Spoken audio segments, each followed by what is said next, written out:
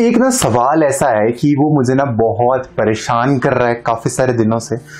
And एक बच्चा है, उसका मुझे कॉल आया था। And she asked me one thing actually she is one of our student in the institute and I thought so कि this is a genuine problem so मुझे लगा कि that I must make a video over this उसका concern ये था कि sir कि मैं इस बार एम एन एस एग्ज़ाम की प्रिपरेशन कर रही हूँ।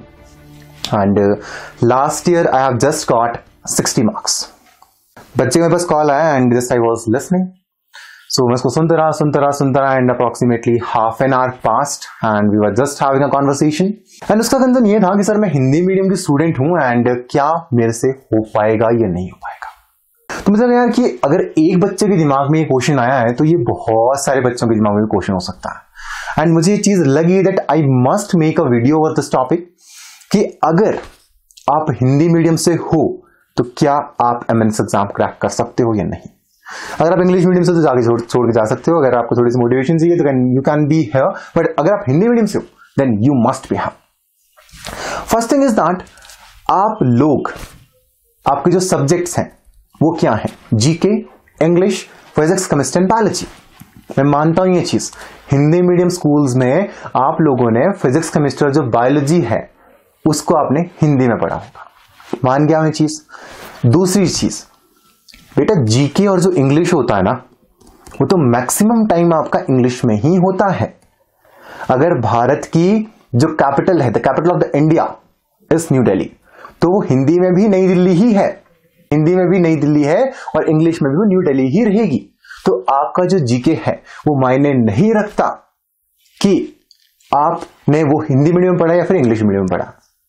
पहली चीज़ ये, जीके आपको लिए कभी भी हर्डल बच्चा नहीं बनेगा। दूसरी चीज़ आती है इंग्लिश। इंग्लिश तो बेटा देखो, हमेशा हम इंग्लिश में ही पढ़ते हैं। तो ये एक्सक्यूज तो नहीं होना चाहिए कि भाई मेरे को इंग्लिश में भी दिक्कत आ रही है। हो सकता है at any point of time आप लोगों ने अच्छे से प्रिपरेशन नहीं करी होगी एग्ज़ाम्स की। आपने अच्छी से चीज़ें नहीं पढ़ी होंगी आपकी क्लासेस में। इसलिए आपको भी दिक्कत आ रही लेकिन अगर आपने बेटा अच्छे से चीज़ें करी थी, तब भी आपको इस इंग्लिश में दिक्कत नहीं आनी चाहिए। हो सकता है आपकी वीक को आप मेंटर पकड़िए, वो आपको बहुत अच्छी तरीके से पढ़ा देगा तो आपको जीके इंग्लिश में तो प्रॉब्लम है ही नहीं। तीसरी चीज़ आती है। अब मैंने उससे पूछा कि भाई, ठीक है कि आपने हिंदी मीडियम में सारी सारी चीज़ें पढ़ी तो मुझे ये बताओ कि जब हमारी फैकल्टीज आपको पढ़ा रही हैं तो क्या उस टाइम के ऊपर आपको चीज़ें समझ में आ रही? तो उसका एक आंसर था कि, सर, मुझे ना हिंदी में समझ आता मैं कहा, ठीक है। तो मुझे आप ये बताइए कि अगर आपको चीज़ें हिंदी में समझ आती हैं तो आपको क्या पेपर हिंदी में दिया जाएगा? पेपर आपको हिंदी में नहीं दिया जाएगा।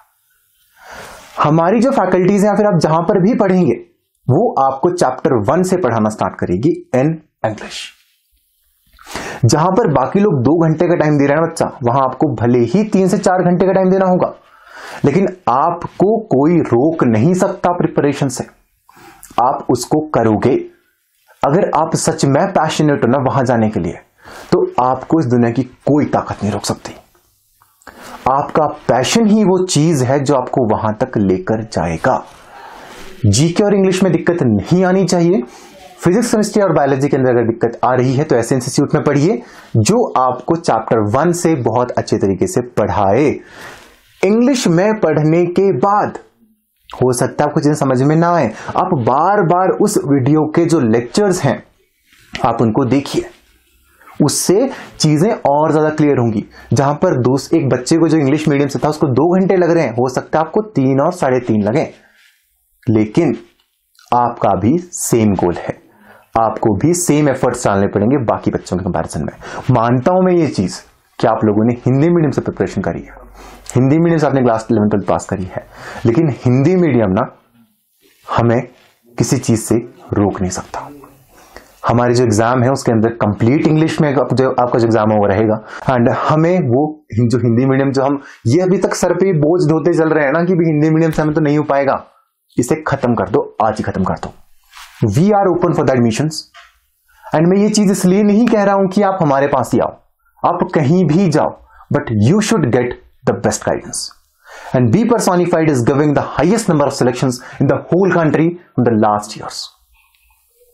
And we have also given a student with full marks that is of 150 out of 150.